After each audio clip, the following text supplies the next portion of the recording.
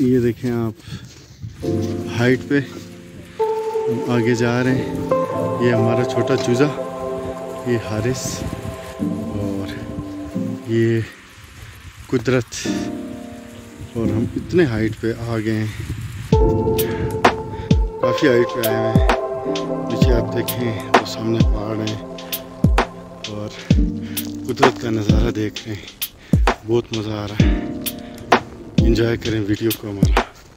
और लाइक करें।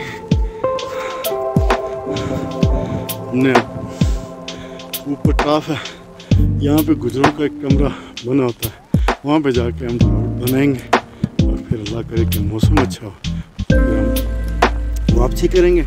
अगर किसी ने जाना है ये सामने टॉप पे जो ग्लेशियर पड़ा हुआ, ये गलने के बाद या अभी, अगर अभी तो बहुत मुश्किल है क्योंकि वो सब कुछ बर्फ़ में और नरम बर्फ़ है तो अभी बहुत मुश्किल है, लेकिन इसके बाद आप एक महीना गुजरे तो यहाँ से आप सैद कई झील के लिए जा सकते हैं, जो गिर का एरिया है। और यहाँ पे मतलब है कि आप लोग बड़े कोऑपरेटिव हैं, आप मरी को छोड़ें और यहाँ पे आ जाए enjoy your life like my channel